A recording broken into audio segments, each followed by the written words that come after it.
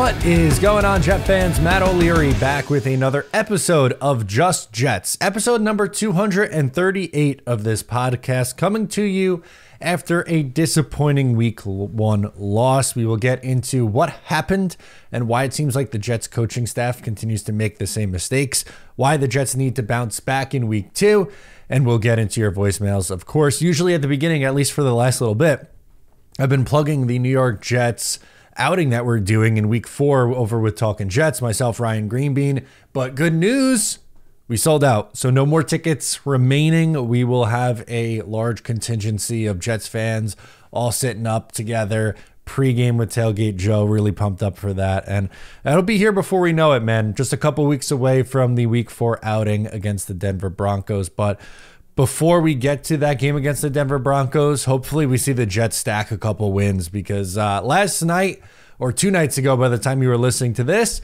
uh, the New York Jets coaching staff and the Jets just left a bad taste in your mouth. Now, there were some good things from this game.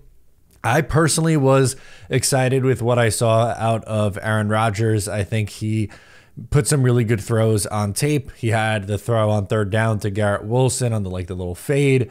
Uh, he had the throw up the sideline to Allen Lazard, and then the touchdown pass to Allen Lazard um, on the on the free play.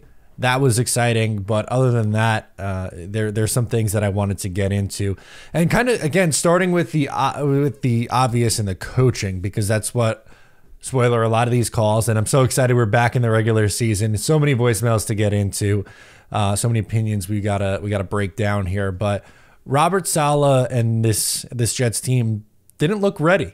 The team was not up for this game against the San Francisco 49ers. They were it was very obvious that they were not up and unprepared and they were outcoached in this game by Kyle Shanahan and Shanahan I think is one of the better coaches in the NFL, so that's not crazy surprising, but it's a little bit frustrating when you're going into a fourth season. This is a really tough opponent in the 49ers. We talked about it all week. And really, since the schedule came out, I thought that the Jets got their toughest test in week one against San Fran. So them losing really isn't a big surprise. The surprise, I think, is the way that this unfolded. And it doesn't mean that we have to bail out on the season, but I do think it would not be do, doing you guys a service if we just ignore the you know the things that happened in this game that weren't good.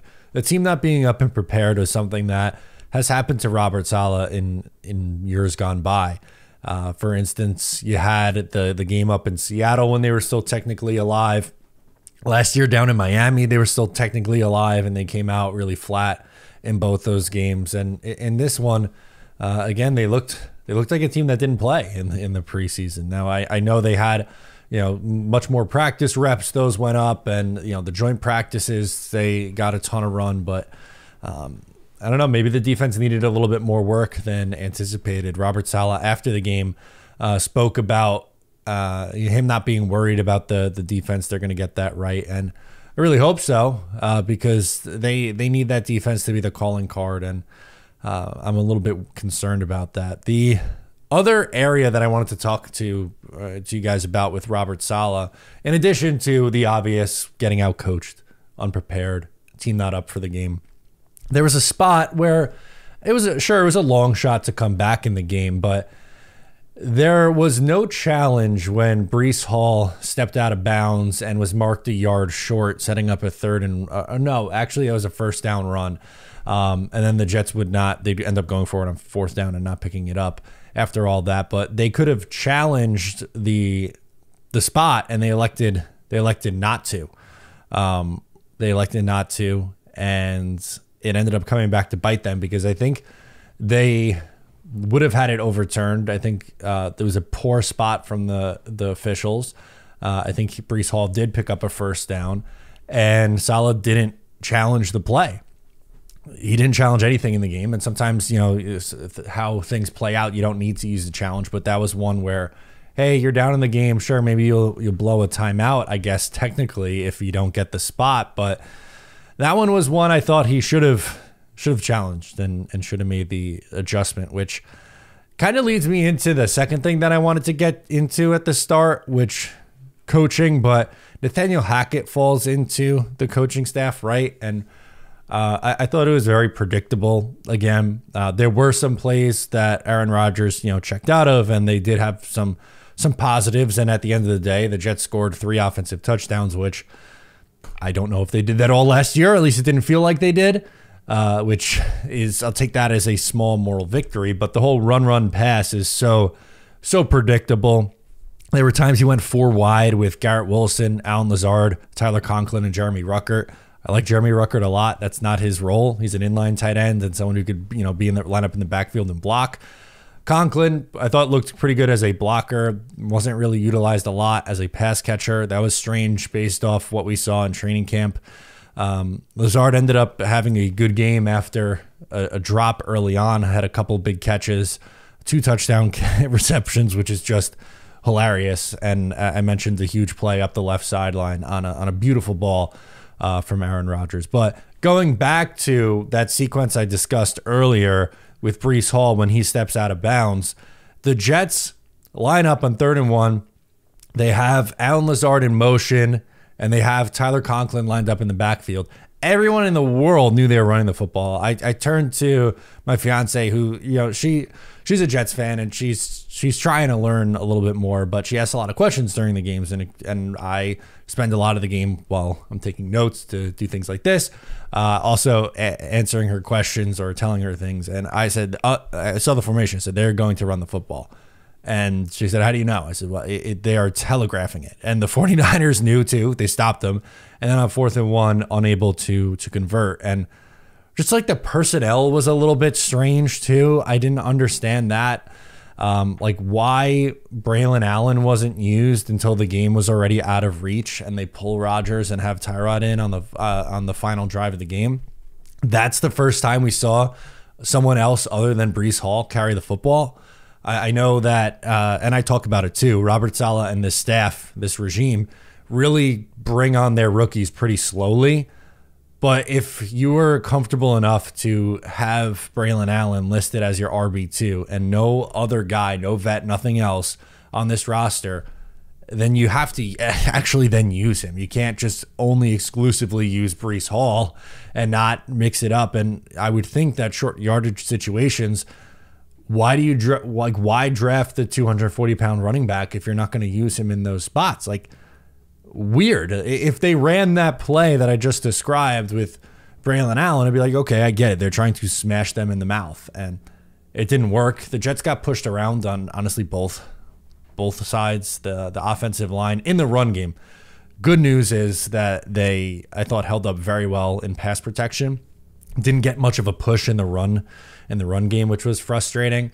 But the defensive line they got they got pushed around. They had a horrible horrible game so did the secondary with you know missed tackles galore, defensive line getting pushed around, couldn't get any pressure, just ugly, ugly, ugly opening game from the New York Jets. Again, see, I'm not saying the season's is over, but it's still it's a frustrating loss in Week One. Um, you know, there have been examples with whether it's Aaron Rodgers in Green Bay, where they start out horrible in Week One and come out rattle off a bunch of wins. Uh, the 2020 Buccaneers got their doors blown off in the first game with Tom Brady. They go on to win a Super Bowl. Uh, the Jets a couple years ago, uh, they got absolutely embarrassed with a worse roster uh, in 2022 by the Ravens, and then they end up getting hot. Um, and what they were like seven and three, seven and four at the start of the year. So the Jets could absolutely turn it around, but they do have a lot to fix going forward. And I think that's a good transition. I want to talk a little bit about this week too, look ahead, and uh, got a lot of reaction to the game, which we'll get to in, in voicemails. But just uh, the the good news in all of this is that they have a very winnable game coming up against the Tennessee Titans. Now, Tennessee probably should have beat Chicago in Week One, uh, but Will Levis was fairly bad. Um, he had one of the worst interceptions I've seen. Um, that was just incredibly, incredibly ugly. I know he's got like 10 starts under his belt, so maybe there's a world where he gets better, but he's someone that I think the Jets uh, and it could get to and, and cause some some havoc with. They they have shown in years gone by to have uh, some some strong play and an advantage against some of these young quarterbacks, and that's the run that the Jets are going to have here a little bit. They're going to have Will Levis then Jacoby Brissett slash Drake Maye in week three, and Sam Darnold after, the, uh, or excuse me, um, Sam Darnold a couple weeks after that. The week four game, how can we not mention uh, Bo Nix, who did not look very good uh, in the game uh, on the road in Seattle. So they have an opportunity to come back and get themselves back in the win column, but you can't you can't overlook this team. Um, I, I, think the Jets could again, as I said, create some turnovers defensively in this one. Um, I think that's the the key. But the bad news is Titans went for 140 on the ground against Chicago. Their, their ground game was working with uh, Tony Pollard had, had a long touchdown run. Uh, defense is solid. You know, Harold Landry and Justin Simmons are, are problems on the defensive line. Uh, but looking at their offensive line, um, I, I, think the right guard and right tackle spots are a little bit weak. They uh, obviously have Peter Skoronski, who you just drafted a couple years ago, uh, who's a solid player, and they're uh, they're very excited about uh, their their first round draft pick on the on the offensive on the offensive line and J.C. Latham at left tackle. So they're they're a bit of a work in progress. But if you're a good football team, you have to figure out a way to to beat them on the road. Um, just there's there's no excuses. Have to bounce back in the week, the in the win column. Uh, Robert Saleh is pretty confident that the defense is going to back you know get back to norm and be okay well, show show us in, in a few days here on, on Sunday in week two. Let's get into your voicemails now. A lot of calls to get into today. That makes me happy. We start with Constantine, who called in during the game. He was upset. Maddie Constantine from PA. Listen, man, what in the hell are we doing? We got 6.53 left in the first half, and all I see is Garrett Wilson, Breece Hall. Lazard drops the ball, had a first down, dropped the ball. Haven't seen Mike Williams, not using the tight ends. What the hell are we doing? Our defense can't stop a nosebleed right now. So please help me understand what's going on. The 49ers are running at will. They're committing penalties, going backwards, and the Jets can't even stop them on a run. Now, I don't want to be a negative person, and I don't want to start the season off on the wrong foot. But you know what? They don't have Christian McCaffrey, bro. If they don't have Christian McCaffrey, we should be up 14 nothing in this game. And Rodgers, he's looking a little bit, I don't know, he's looking a little gun shy. So I hope that I'm wrong. I hope the second half is going to be more promising for us. But I'm starting to notice things that are kind of irking me a little bit. So please, please, please, please, try to understand where I'm coming from. I'm not trying to be negative, but this is not feeling right. Hopefully we could get our you know what together and we could start involving some more people in the offense. I mean, we went to Garrett Wilson for street three, I'm sorry, three straight passes and, you know, great they did help us get into that touchdown drive. But after that, we haven't done anything on offense. We look very lethargic. And I don't know what's going on with Saleh. I don't know if you got to put a flame under his ass, but he's got to start showing some more emotion on that sideline. He's too stoic. And this is such a big game for us. I mean, we have a chance to beat the 49ers in San Francisco. Now, granted, everybody else in our division won. So do we really want to start the season off in last place? Please help me understand this, bro. I'm really trying not to be negative this year. I'm really not. But what's going on with these Jets? How come we can't tackle? They got guys pitching the ball 10 yards behind the quarterback, and he's running up and breaking five tackles. What are we doing? What are we doing? We need to put out a better effort and we need to beat these guys. We have everything right now in our favor and we're not taking advantage of it. And by the way, where's Mike Williams? Is he out? Because I didn't hear the scouting report saying he was out. So how come we're not mixing it up? We're going Breece Hall, Garrett Wilson. Breece Hall, Garrett Wilson. What is that? Anyway, I'm hoping for a better second half, and let's go Jets. Thank you. Take for, care, buddy. Oh, we'll so, talk again soon. Sorry, Constantine, didn't mean to cut you off there at the end. While you were talking, I wanted to pull up the snap counts because I was curious. Uh, Mike Williams played nine snaps, 18%. That's not really all that surprised. I was surprised that he wasn't targeted in the game, but I wasn't expecting to see him a lot. And I think this first month, we're not going to see him a lot. We got Allen Lazard played 100% of offensive snaps in this one. Uh, then you had Garrett Wilson play 96. Xavier Gipson played 59. Corley got one snap. Irv Charles didn't get receive a snap. Conklin was on the field for 90%. Uh, Jeremy Ruckert, 33%. Uh, just wanted to look on the, the defensive side of things too, because I know people are going to ask me about it. So I'll toss it out. On the defensive line, we know they like to rotate, but uh, on the end, Jermaine Johnson, 69%. Will McDonald, 49 very quiet. Michael Clemons, 43. He didn't look good. Uh, Takk McKinley played 32. Braiden McGregor, 11%. And on the interior, Quinnen Williams was 67. Javon Kinlaw, 57. Solomon Thomas, 53. I didn't think Solomon Thomas looked good. And Jalyn Holmes played 22. Um, so that's that that just giving you some some more insight there. But uh, Constantine, you're you have a right to feel upset after that game. Uh, I don't I don't blame you. It was uh, it was a poor showing uh, in a lot of areas that that you mentioned. This defense is better than what they played, and they made some no name running back look like prime Marshawn Lynch. Like they just couldn't bring him down.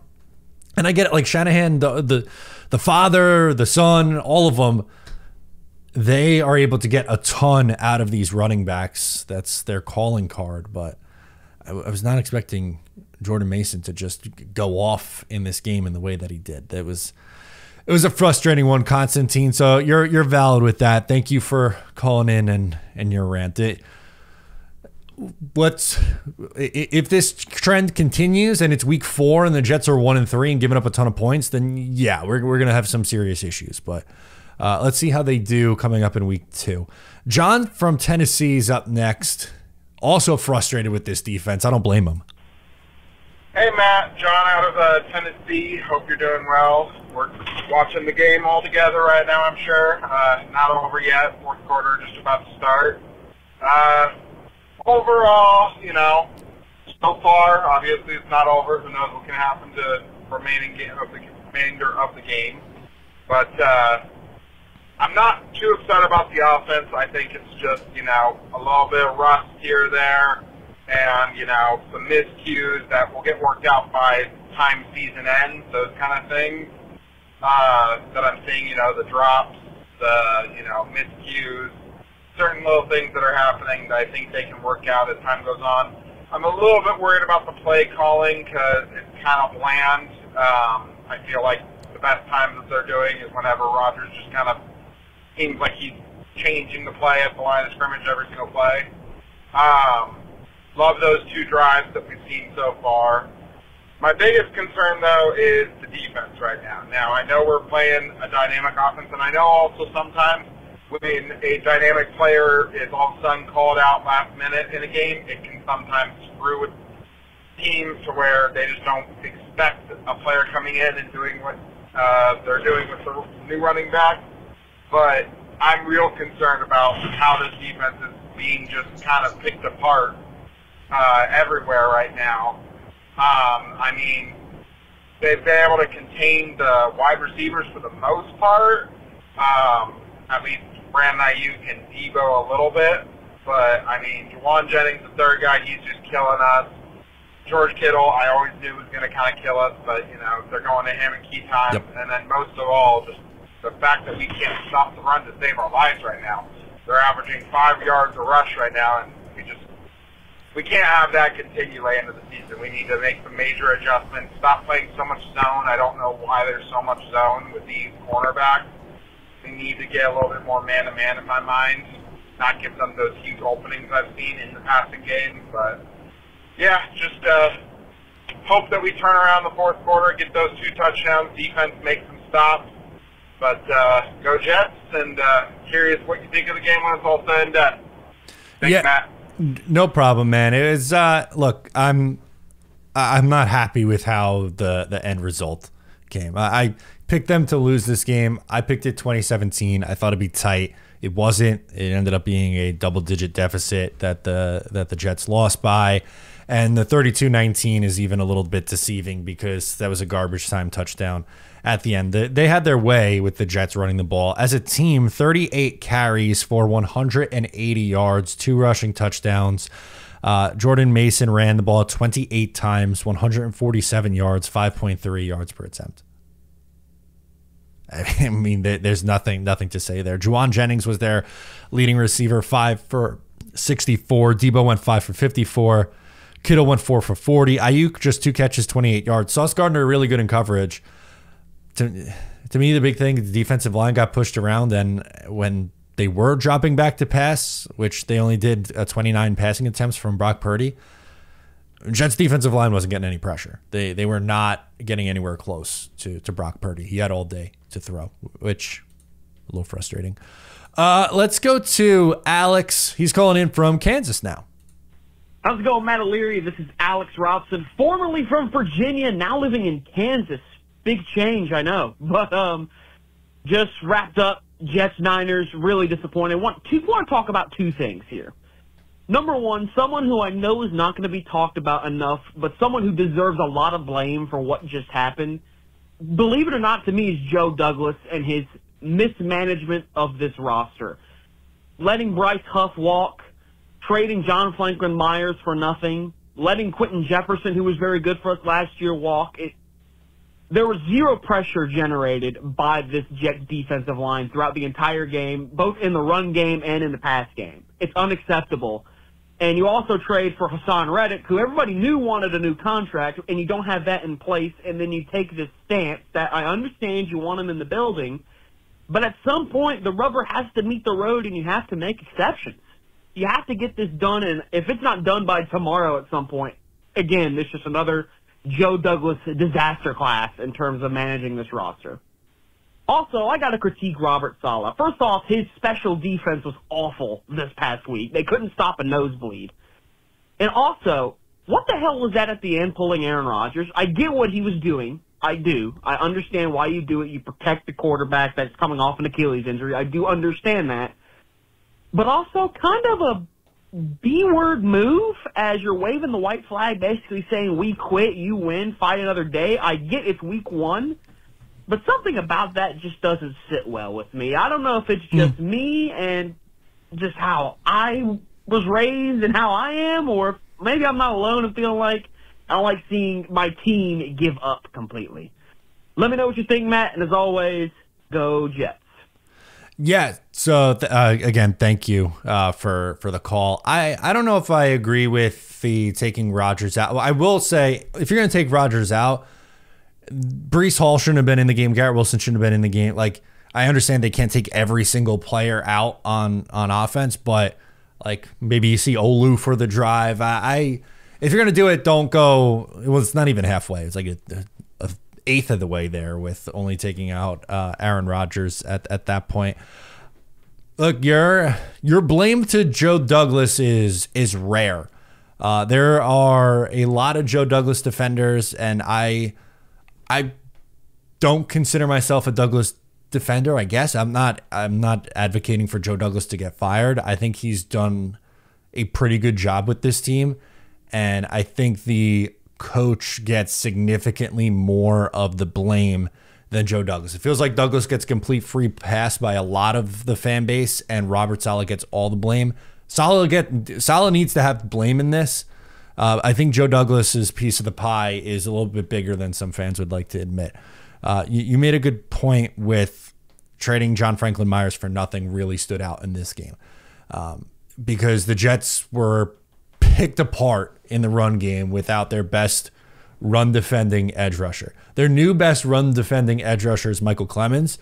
And the 49ers game plan, if you you know go back and, and watch the all 22, it's available now they ran directly at Michael Clemons essentially the whole game, and and the Jets had no answer for it, no answer for it whatsoever. So JFM one is big, but letting Bryce Huff walk. Listen, I you guys, if you listen to the show, you know how I felt at the time about Bryce Huff. I didn't like that decision. P- pivoting to Haason Reddick after you let Bryce Huff leave. Okay, good. Like I think you needed a pass rusher. You get him in here you know, let's let's do it. But that's the thing, you haven't he's still holding out. So the Jets essentially lost Bryce Huff and John Franklin Myers from this defense a year ago and haven't replaced them yet because Haason Reddick's not in the building. Now, you could blame Reddick more than Douglas. I like I understand that side of it too. I'm not saying Haason Reddick is blame free in any of this, but the reality is is his decision was or the team's decision was not to bring back Bryce Huff instead to pivot and trade for Haason Reddick, who everyone knew wanted a new deal. And the Jets just said, we're going to let, I don't know, between the two of them, how many, 110 pressures and 15 sacks just, just go away. And if you want to so throw Quinton Jefferson in there, that's another four, five, six sacks. And uh, Javon Kinlaw, I will say, I thought he was pretty solid, and I think he ends up being at least a very comparable swap to what um, to what you got out of Quinton Jefferson the last year. But really, the big thing that stood out to me from this defense, uh, defensive line in particular, was they missed a real pass rusher on third down, and their run defense did not look nearly as good without John Franklin Myers. It's two things that I was concerned about going into the season. I talked about it a lot in the offseason. Granted, it's one game, so we'll see if they're able to get it back on track. But that sample that we saw last night isn't going very far to those who were who were worried about it. If anything, it kind of just adds fuel to the fire there. So I do think Douglas deserves a little bit more blame than what he's getting from some people. Um, but I, am not ready to call it a, a, disaster class just yet. I'm not hitting that full panic button. Um, I, I, I think Alex is a little bit more concerned maybe than I am at this point, which is which is okay. We'll see how they they end up. Let's go to Max. He's calling from New Jersey. He has reaction to. This is uh, Max from Holden, New Jersey, currently college in Glassboro at Rowan University. Here's my thoughts on the Jets Niners game. So I think we played decent. I mean, we didn't play good. We didn't we didn't play great, but I didn't think we played that bad. I mean, yes, the score wasn't great uh, 32 to 19 wasn't a great score. I would like the game to be closer, but it was also against the NFC champion and Super Bowl runner-up last year. So here are my positive takeaways and negatives. So my positive takeaway is that our offense is really good. Aaron Rodgers had a, a good touchdown, free play, and there were some good plays. I mean, our offense was okay. I mean, we should have done better on the fourth down. We could have had a better fourth down play goal or third down. Like I didn't like how like Hackett was like running up the middle. It never worked. I don't know. They kept calling that play. I don't know. They should have had a more creative running play, in my opinion. For defense, okay. I think the defense played bad today. I mean, I understand we play against the Niners. Their offense is like one of the best in the NFL, but seriously, we lost 32 points on the Niners. I mean, I'd be more concerned if we allowed this many points to the Titans. And the Titans were terrible this week against the Bears. They were leading the Bears 17 nothing And then they choked the game away. So I'd be concerned about the defense if we allow the Titans to, to get like more than 24 points. What's your thoughts on this and go, Jack? Yeah, I mean the the defense really needs to bounce back against a team that is not nearly in the same stratosphere as the San Francisco 49ers. 49ers are for my money the best team in the NFC. Now that doesn't like the Jets have high expectations this year. So they don't just get a free pass and you go, oh, well, it was the 49ers. It's okay. You got blown out. Like, I, would have liked to see them be much more competitive. But the concern level for me gets cranked up if they have a bad performance against Tennessee. If Will Levis is going out and throwing for 250 yards, they're getting in the end zone, they're running at will on this defense again for a second week in a row, and they lose on the road and it's sitting at 0 2 yeah, you can turn that you could turn that flame up uh, a little bit higher than at, at, that point. It was some of the play calling was predictable. You mentioned at one point, Max, about um, just a more creative running play. I would add too, like I would have liked to see Braylon Allen a little bit earlier than than when they put him in there. The final drive. That's when we saw Braylon Allen. That's that's too late. That's too late. Jake from Jersey, he has his reaction as well. Let's hear from him. Hey, what's up, Matt? Um, Jake from Jersey, calling in immediately after the game here. Um, not panicking, but just a couple things I didn't like from the game, man. Where think some of those short yardage situations we could have used Braylon Allen um, instead of Breece Hall. If I'm being honest, just like the third and one, fourth and one. also, um, did we bench Sauce at one point? That was a little ridiculous. And then um, on top of that, man, what was our two sacks we got from, I think Tony Adams and Sauce, if I'm not mistaken. It's just it's I don't know that D line needs we we really need to get pressure. I think uh, I, I really hope that I wake up to uh, a Reddick extension or something, man. But uh, see what happens next week. Pretty happy with how uh, how Rodgers played, though. I mean, I don't think he did anything crazy, but no. I do think he played pretty well. So that's good. That's somewhat of a functioning offense. Um, but uh, yeah, man, go Jets.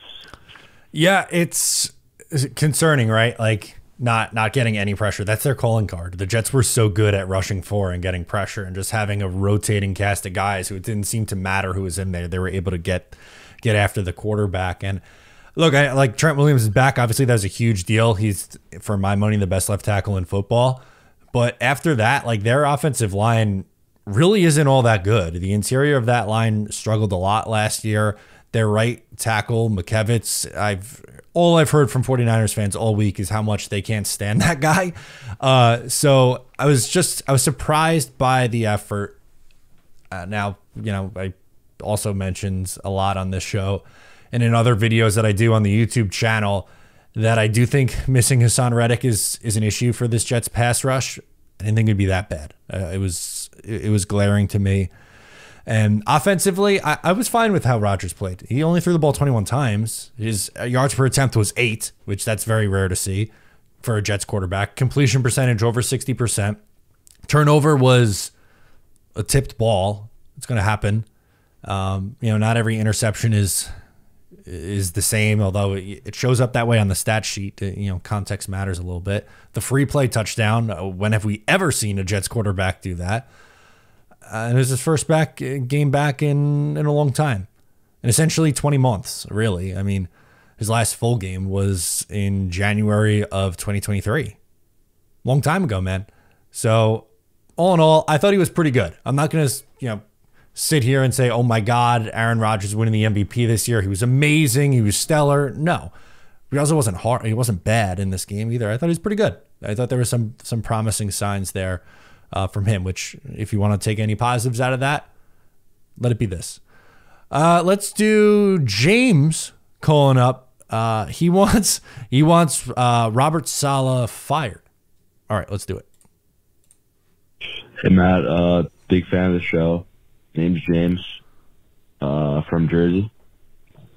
Um, you know, I just wanted to give a couple thoughts on the game, uh, Monday night and, you know, glaring, glaring, uh, discrepancy is, uh, to me, why, why does Robert Saleh still have a job?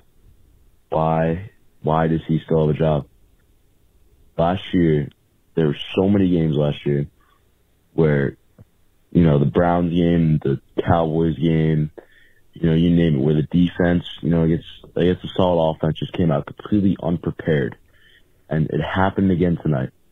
It happened again tonight. We had no answer for Jordan Mason, undrafted rookie. Never heard of this guy in my life. And he's running all over us like it's nothing.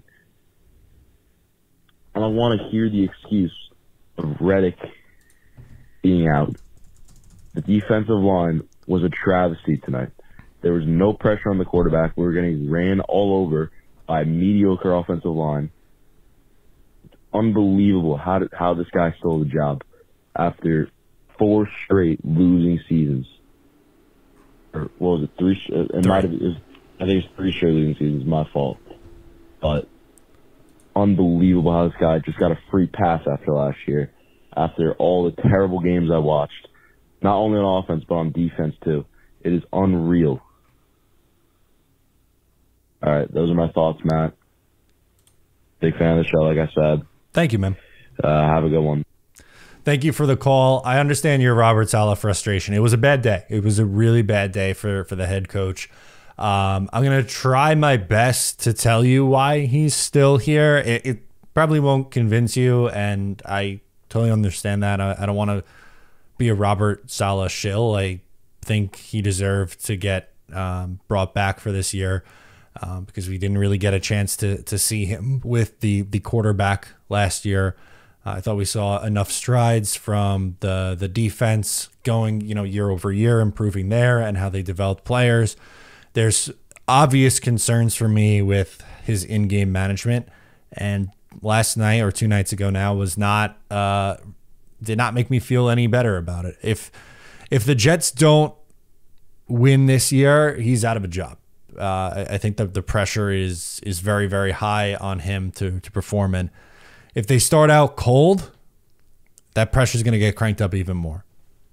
Um, so I don't want to call for his job yet. Uh, He's I'm not saying he's a, a good coach, but um, we have to see how this plays out with Aaron Rodgers for a little bit longer than just the one game for me. Um, again, if if they lose to Tennessee, gets cranked up a little bit more, and you know so on. I, don't- I don't want to see that be the case. Um, really, it, it goes back to Saleh and Douglas got a pass for last year, two of them together, uh, because of what happened with Aaron Rodgers four plays in. So both of them are going to get the opportunity. If Robert Saleh doesn't perform, he'll be let go. PG from Long Island is here, and he wants to talk some Joe Douglas. Hello, Matt O'Leary. PG from Long Island here, calling Monday night after the Jets debacle we just witnessed. Couple things. One, as I said last week, uh, blowout in either direction doesn't really define the season. Uh, first game, it's 17 games. That's a great team that San Francisco has. Um, going cross country and playing them on Monday night, very tough.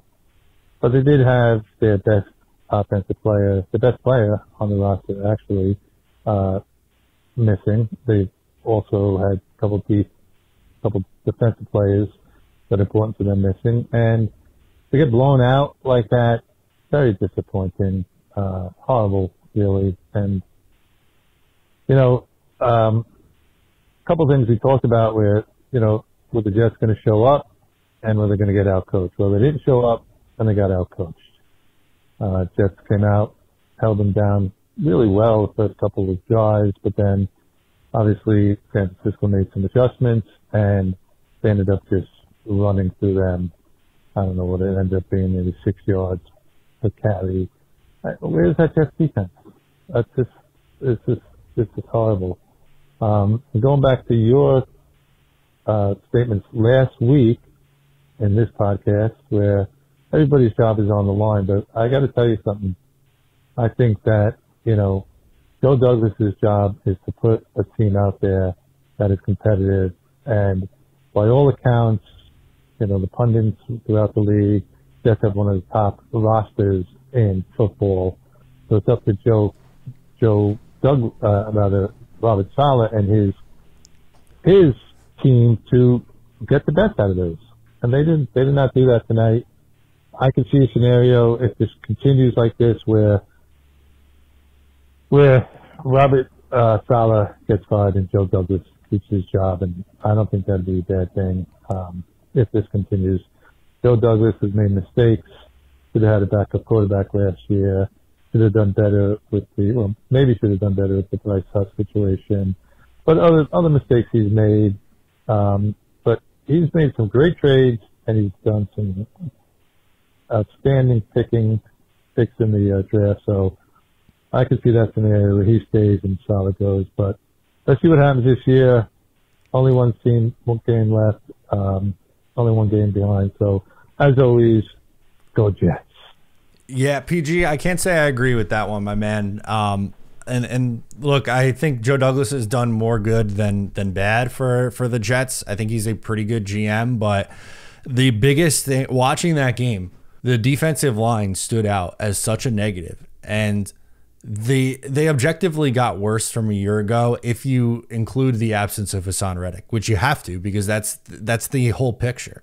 The picture that we have right now is you traded away John Franklin Myers for for for zero, uh, and their plan was to have Michael Clemons be his replacement. That looked horrible last night. They let Bryce Huff walk in free agency. Fine. His replacement isn't here because they won't talk to him unless he's in the building. He's he's eating popcorn watching the game like the rest of us. I you know, I, I, don't think Douglas deserves this complete free pass for for this. He his roster is is pretty good, but it, it doesn't just stop there. Like th- there's some there's legitimate things that he contributed to as a reason why they weren't good last year because they did not do anything at the backup quarterback spot. Um, they paid you know Allen Lazard you know a bunch of money. Um, the Will McDonald, like whatever, whatever you you want to point to from from last year and some issues with that roster, This year, yeah, they I like what they did on the offensive line. They have a better contingency plan there. On the uh, uh on the um oh my god at the backup quarterback spot, Tyrod significant upgrade. What they do on defense? Quinton Jefferson and uh, Quinton Jefferson leaves. Bryce Huff leaves. Al Woods leaves. And I don't know that without Haason Reddick, obviously, which matters a lot, the defensive line isn't good enough. And that was the, the big thing watching that game was they couldn't stop the run because the line was getting pushed around. And anytime they did drop back to pass, they didn't get any pressure. So that that that is to do with Joe Douglas, and again, that doesn't give a pass to Robert Saleh, who did not do a good job in this game either. But I don't know why it's one is you know vilified and it's got to be fired today, and the other one after six years deserves a contract extension. I think they're a little bit closer uh, than we might like to admit. Vic from Florida is calling in next. What do we got? Hey, Matt, Vic from Florida. Hopefully you uh, get this message instead of my first one, uh, so you could go ahead and delete that one. Want to get more talking points out. I was probably just a little still flustered, but again, like I said, I slept on this on the game. Right? Never as good as you think. It's never as bad as you think. But one thing is for sure: Robert Saleh is as bad as we think. I mean, Ulbrich and Saleh come from San Fran. It's the same offense without Christian McCaffrey. How did they not figure this out? They make no adjustments. I mean, they're literally shoving the ball down our throat, and we can't even call a timeout. I don't think we called timeout in the first half till there was a minute left. Robert, we, they they do not run over into the second half. I mean, my God, give these guys a chance. You're talking about a top five defense? Unbelievable. Our defensive line was horrendous. Will McDonald, a first round pick? That skinny mini Gumby, whatever the heck they want to call him, got bent out of shape. I mean, it, it was it was bad. It was it was bad. You know. Um, on a positive, Aaron looked good when he was calling his own plays. If you noticed, every time he went to the line of scrimmage and did his old Aaron Rodgers thing, you know, where he changed up the play at the line, we were successful. When he didn't, we ran the ball and didn't get nothing. I mean, Lazard had the big catch. Breece had the huge fumble. That's going to happen. We got to make an adjustment on defense, Matt. This is tough. This is tough to watch. Like I was saying in my first voicemail, the Niners are obviously a uh, Super Bowl runner-up. Probably should have won the Super Bowl last year. Okay, they're a great football team. We couldn't hang with them. You kidding me? And then you're talking about the Jets being a playoff team. Playoff? We can't even win a game. I'm, I'm I'm glad we got uh, you know Tennessee coming up, but they're coming off a pretty upset, uh, pretty upsetting loss. They might punch us in the mouth. I don't know, but all I know is that I cannot watch Robert Saleh coach this team much longer. He's got to make an adjustment. We got we got we got some work to do this week. Anyways, Matt, I appreciate it. Long time listener, first time caller. You'll Thank be you, hearing man. from me a lot this season. God bless, man. Appreciate all you do. See ya. Thank you, Victor. Jet, jet, jet. Didn't expect that Jets chant at the end. Thank you, Vic. Look forward to hearing from you again, my guy. Uh, all right, so a few things, uh, mostly about looking forward, is where I wanted to go with this this voicemail. Is there's a lot of responsibility on this coaching staff heading into this second game. You know, they want to excuse, you know, use the excuse of it's the first game and rust, and we can work out on the defense, and this is you know a, championship team that you know we showed us how to play. Okay, well Tennessee stinks. Sorry, they're they're not a very good football team. New coach, young quarterback who is very mistake prone. Wide receivers underwhelming. Show show me. All right, let's do it then in week two. Because if he doesn't, then Vic, that that's when I'm turning up the heat a little bit higher. This one, I'm frustrated with the loss and I'm frustrated with the effort, and there were some concerning things. I'm not going off the deep end yet, but there, if they're staring 0 2 in the face, that's a different story. Then I'll be right there with you, yelling and screaming uh, in this episode next week. Peter from the Hudson Valley calls in. No rookie usage? Let's talk about it. Hey, man. Yeah, it's Peter from up in the beautiful Hudson Valley calling in the day after the Jets lost to San Francisco on Monday Night Football. Yes, I agree with you. Frustrating and disappointing game, but you're playing a team that went to the Super Bowl last year and uh, has a really good coach in Kyle Shanahan and how to get the most out of his players. Speaking of players like that, um, Christian McCaffrey sitting in the game, and they have behind him an undrafted rookie free agent at running back who gashes the Jets defense time and time again. At least the defense just didn't give up touchdown after touchdown after touchdown, but, you know, didn't break and gave up six field goals. That wasn't so great. I mean, the, the, uh, the drive from Aaron Rodgers, that third drive for the Jets, was great to see. Uh, something where we actually have a functional quarterback, and that's what it looks like when an offense clicks and moves down the field and gets a score. So we obviously want more of that going forward. I think they need to fix that run defense as quickly as possible to get it uh, back in shape. I don't know what they're going to do, but hopefully they can take care of it. Uh, but here's my question. In watching the game, you can obviously see that San Francisco had, you know, Mason and even Dominic Cooney, who was a rookie, you know, on the offense. There's other offensive play, you know, rookies, you know, contributing throughout the game. We see that from other teams. I just don't understand the Jets' reluctance early in the season to use their rookies. Braylon Allen got touches only late in the game. We didn't see Isaiah Davis on the field except on special teams. Malachi Corley was out there for a handful of snaps, if I remember correctly. Like, these are guys that need to make contributions to allow this team to win games. You only have 17 chances to win games. Get them on the field. Get them contributing. I just don't understand the Jets' reluctance to do that, especially that third and one and then what wound up being a fourth and one situation. Braylon Allen, you know, behind Ruckert or Firkser or somebody yep. could have probably gotten that first down. So hopefully that's something the Jets start correcting real soon, fix the run defense, and I think we'll be pretty solid against Tennessee on Sunday, but frustrating to say the least. But again, we only lost to the defending NFC champions, not some scrubs. Let's go Jets. Yeah. Yeah, absolutely. Thank you, Peter. It's they didn't lose to scrubs, which is is a fair way to look at it. Um, which is why I'm not more animated today and, and more upset. Um, I'm not not pleased with the effort. The Malachi Corley played one snap. Uh, Braylon Allen didn't see the field until literally the final drive of the game. Breece Hall was struggling to get going in this game, and he didn't play particularly well. He had a drop, he had the fumble. It, it wasn't a great Breece Hall game, and you know he even admitted it himself. He said it to Aaron Rodgers. He apologized to Aaron Rodgers. I don't think he needs to do that because you know, there were a hell of a lot of games last year where Breece Hall was carrying this team offensively, but uh, he's been better. But I, if you're going to have Braylon Allen as your RB2, if you draft this 240 pound running back that you love so much, use him on third and one or fourth and one or down on the goal line uh, on the two point conversion. He wasn't on the field. Make it make sense. It doesn't. That's the problem. That that is the issue. The the personnel usage in this game was a head scratcher to say the least. Neil, you're going to close us out from Jersey City. What do you got, my friend?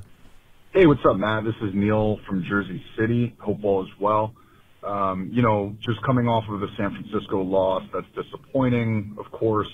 Um, but I will say I do think that there are some positives to take from it for sure. I mean, just the eye test alone, you can see how much more competent Rodgers was last night than anything the Jets have had in the last two decades essentially. So uh, certainly that's a positive, and also that he was was uh, he stayed upright, and that O line seemed to hold up at least in pass protection. I think the run blocking could have been better, um, but yeah, I think that um, in terms of the negatives, the defensive line, of course, I thought you know played really poorly. I think everyone can uh, you know see that. The run defense, I mean, just getting gashed, that's certainly a concern. I'm curious how truly concerned we should all be though by it, considering it is San Francisco. Um, and then, uh, you know, just one other comment for you. I really got to say, I'm just disappointed seeing Allen Lazard out there, you know, time and time again. I know he made the touchdown grab and he made a nice catch along the sidelines, but just to start off that game with that third and three drop, I mean, how many times are they going to put this guy out there only to drop the ball in a, in a crucial moment of the game? You know, and I know to, to me, I know it's the first drive of the game, but I think that that's the tone setter. And I just really can't wait till Mike Williams is fully healthy and like they have no limitations on the snap count because I, I really hope that he takes all the snaps away from Lazard. I'm, I'm tired of seeing him. Thanks so much, and uh, let's hope for better success in week two. Yeah, I am right there with you. Hopefully, a better, more successful game in in week two. Uh, I, I also would ra- rather see Mike Williams. It's going to be a few weeks though. It's it's going to take a little bit. He played. What did I say before? Was it eight snaps for for Mike Williams? Let me scroll up. Uh, nine nine snaps, eighteen percent. Uh, for Allen Lazard, he played one hundred percent, all fifty one. Uh, I'm glad that he came on strong after the drop, but I was uh, I yelled some things at my TV uh, when he dropped that ball because this is that's what he did last year. Very up and down streaky player, man. Really, really frustrating one. But hopefully that frustration turns to a better reaction next week. How about that? A little bit more on the positive side to close things out. Jets against the Tennessee Titans. Uh, wanted to mention as well, I am doing a watch party uh, in New Jersey for this game at uh, a beautiful, beautiful venue. Um, really excited and looking forward to to this event. I'll give you some info on it and pull it up on the screen uh, right now. If you're watching, uh, I appreciate you. If you're listening, I'll read it out to you. So it's at uh, the Beach Gallery in Keansburg, New Jersey. Doors are at two, uh, excuse me, 12 p.m. for the one o'clock kickoff. Free entry, live game audio, DJ during breaks, food and drink specials. You could RSVP by going to tbgnj.com. Your RSVP guarantees you a spot inside. If you don't RSVP, you'll have to you know wait on the line um, and, and get in that way. But you kind of can you can skip the line with an RSVP. Um, so I'm excited to make my way over to Jersey for week two. But that'll do it for me and this one, guys. Appreciate you. Subscribe if you're new. catch you next time.